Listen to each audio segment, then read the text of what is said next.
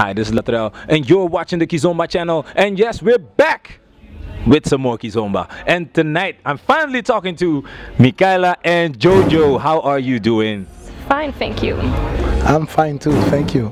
Good to see you. Always good to see you too. And the first question that I always ask is, why do you love Kizomba? I already asked you before, but I'm going to ask you again. Why do you love Kizomba?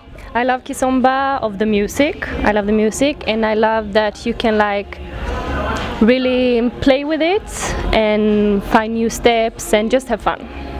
Jojo. Me, yes, of course, I love Kizomba.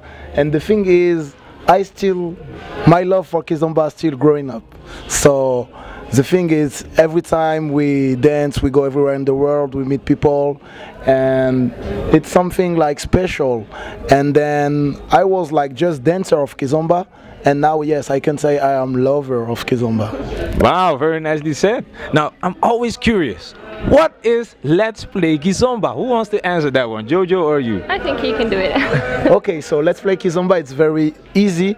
It's at the beginning it was just a kind to say yes i dance kizomba i play kizomba i play with music i just enjoy when i dance. It was just this let's play kizomba so just come and have fun and play.